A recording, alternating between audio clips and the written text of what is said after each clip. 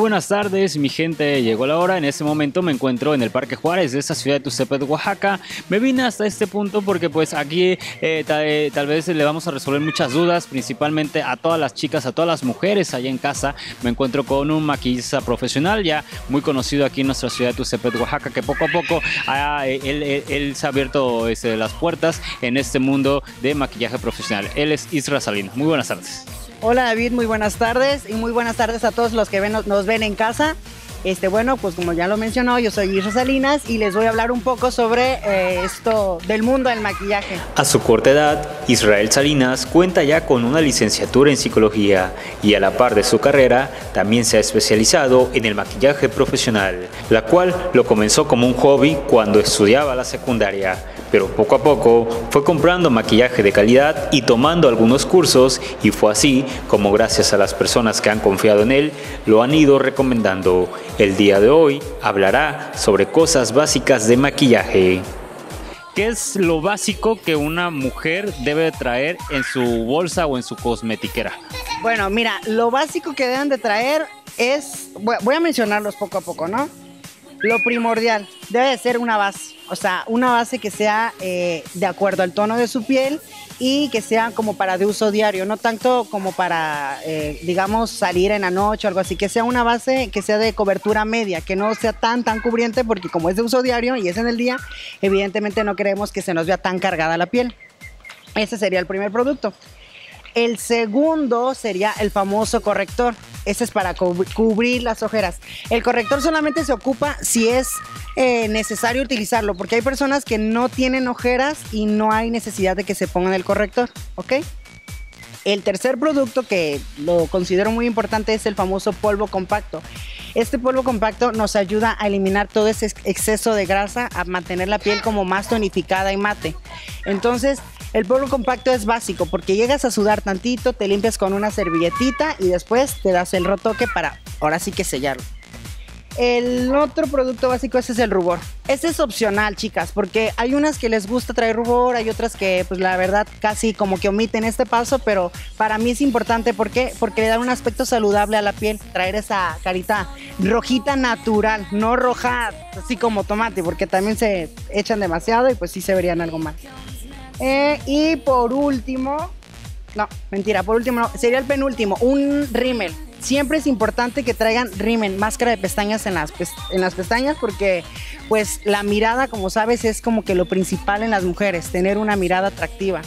Y el último paso es el labial.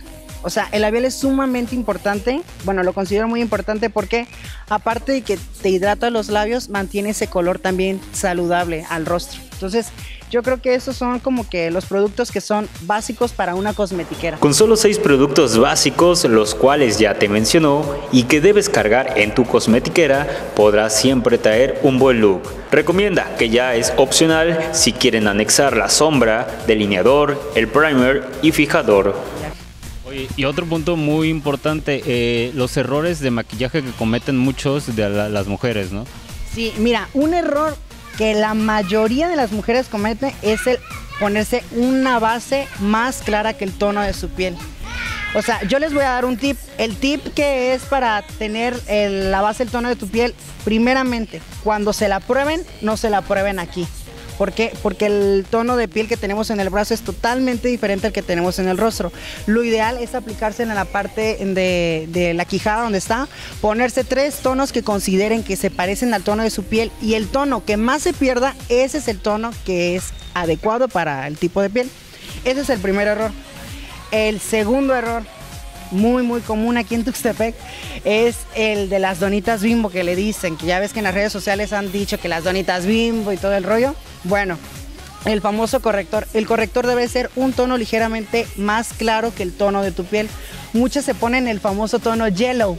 Yo lo publiqué en mi Facebook que muchas niñas el tono muy muy amarillo este hace ver el rostro pues totalmente no hay armonía. O sea, el corrector seguramente se, ocupa para corregir ojeras, no como para que te veas blanco de las ojeras, efectivamente.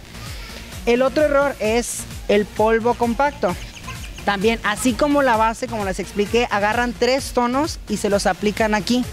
ustedes van a tomar y el tono que más se pierda del, del polvo compacto, ese es el tono ideal.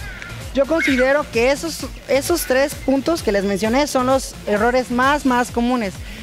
A continuación te mostramos algunos cambios de imagen que ha realizado Isra Salinas.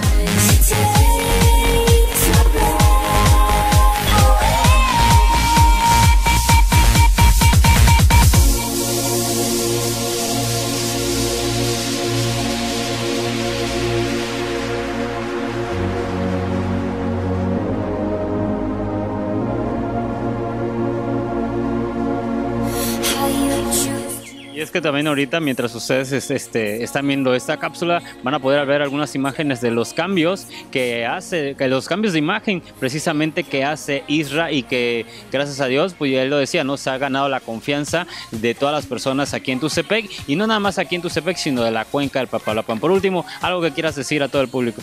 Bueno, chicas, eh, les agradezco más que nada eh, la confianza que han tenido, el hecho de que, Isra, quiero que me maquilles, me encanta, de verdad, es muy padre que te digan, qué padre maquillas, oye, quisiera ser como tú, porque luego hay niñas que me dicen, quisiera alguna vez maquillar como tú.